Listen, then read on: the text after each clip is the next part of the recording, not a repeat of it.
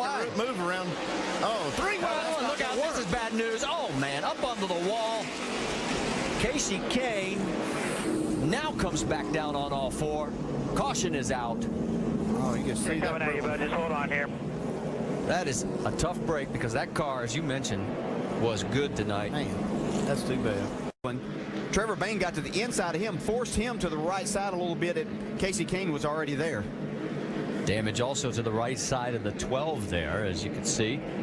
Don't know how severe that is right now, but Kasey's night is done. To Dale Earnhardt Jr. It'll give us 24 cars on the lead lap. Here's another look. Yeah, Robert Richardson Jr. was the lap car that was in front of these cars. Everybody just looking for a way around. Man, that thing get up on the wall. You could see that just like it surprised Justin Allgaier whenever Trevor Bayne got to the inside of him. Not sure that he ever had any idea that Kasey Kahne was out.